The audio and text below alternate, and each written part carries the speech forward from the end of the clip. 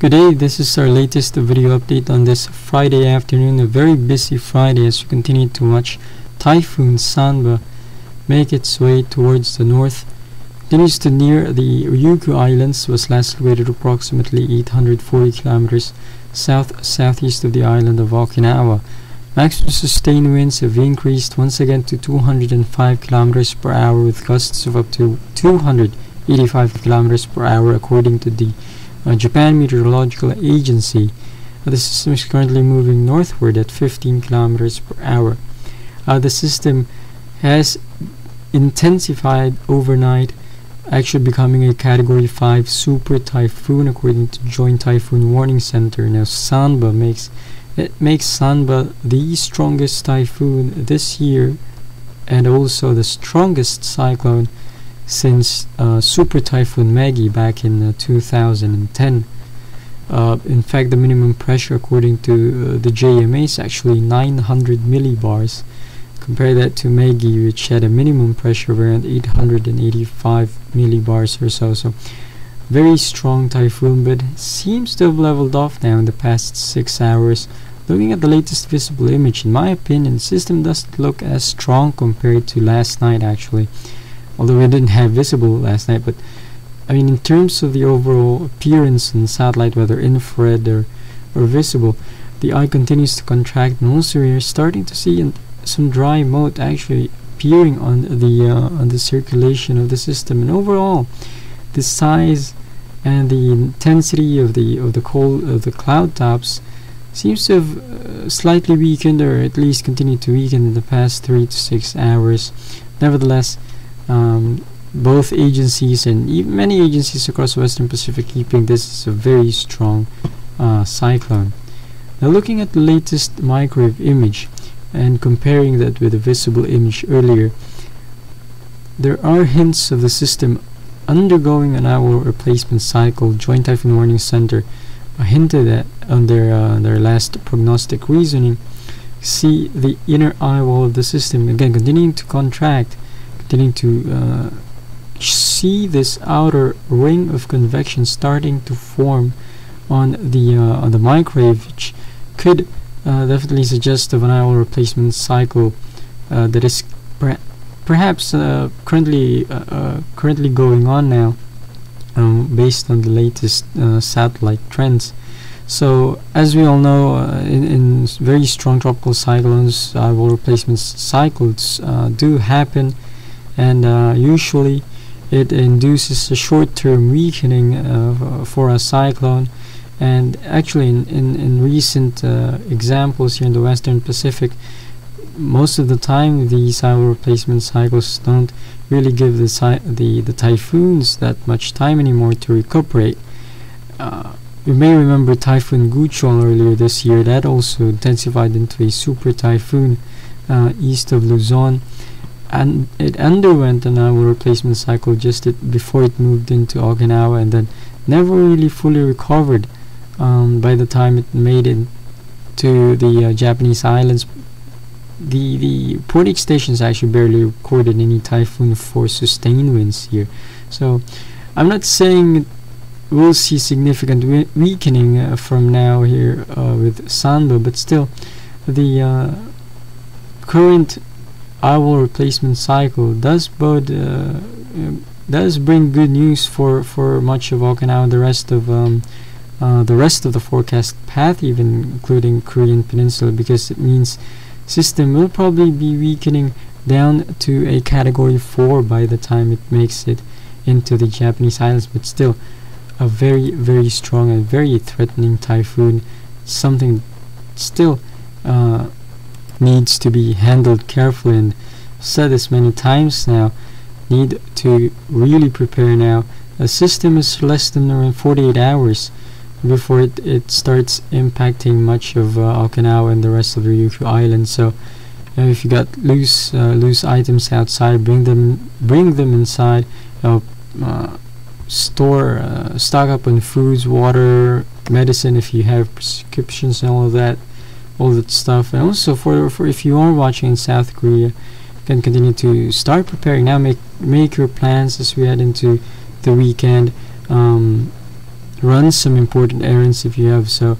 And uh, as the system is could could impact uh, the uh, Korean Peninsula beginning Monday morning.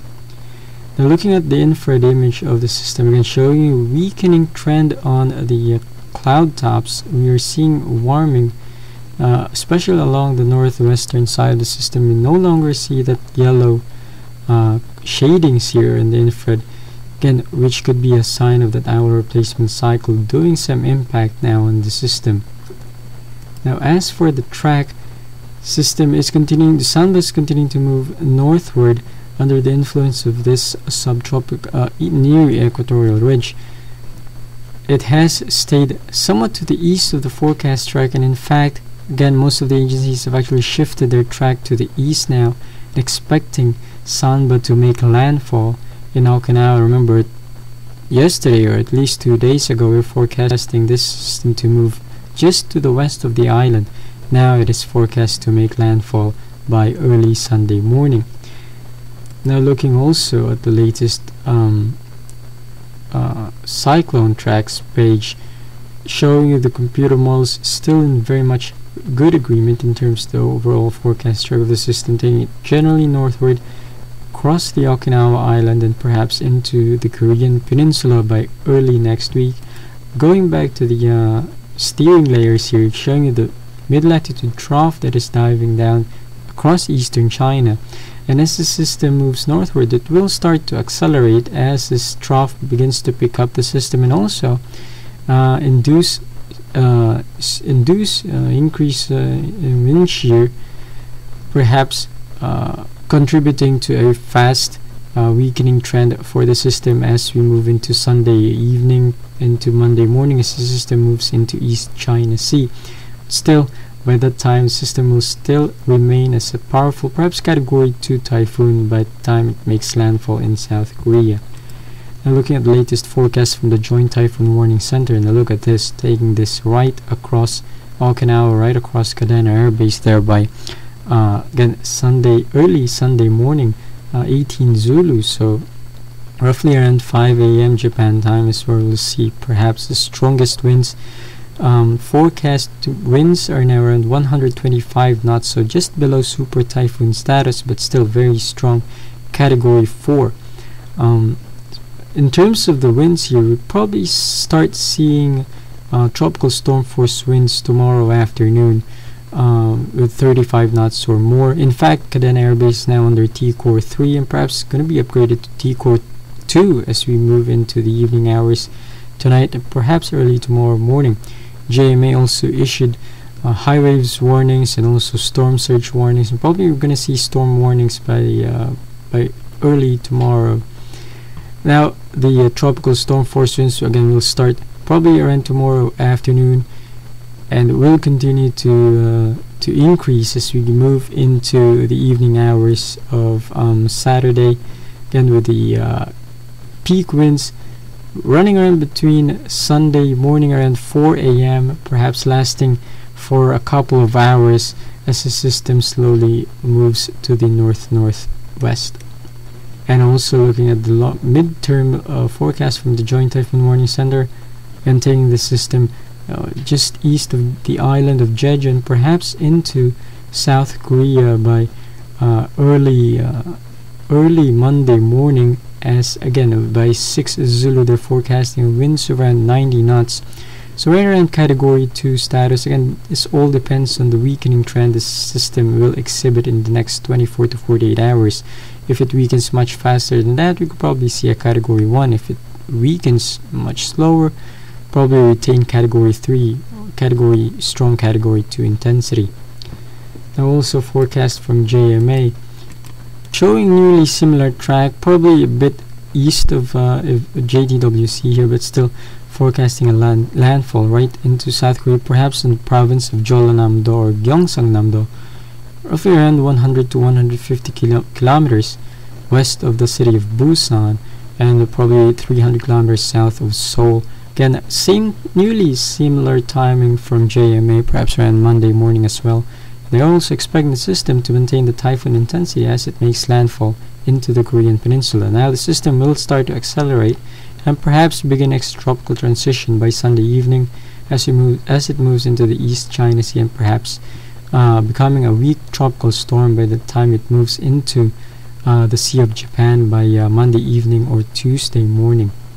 So the timeline for this one is uh, will be the typhoon force wind starting uh, very early Monday morning, along with very heavy rains definitely impacting South Korea and also North Korea. Not only that, the island of Kyushu should also be uh, should also be wary of uh, the threat of heavy rains, despite the system actually being much uh, smaller compared to Bolaven, which hit the which hit this region uh, two weeks back.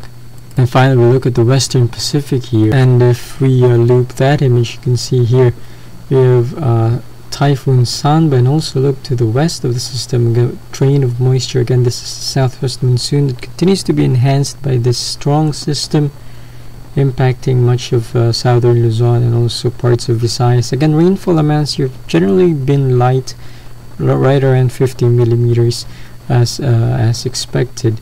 Also, the low pressure area that we've mentioned yesterday in West 91 that will continues to spin up here, but again, not really expected to uh, intensify, but the very least could still bring some moisture and perhaps scattered rains across western parts of Luzon in the next 24 to 48 hours.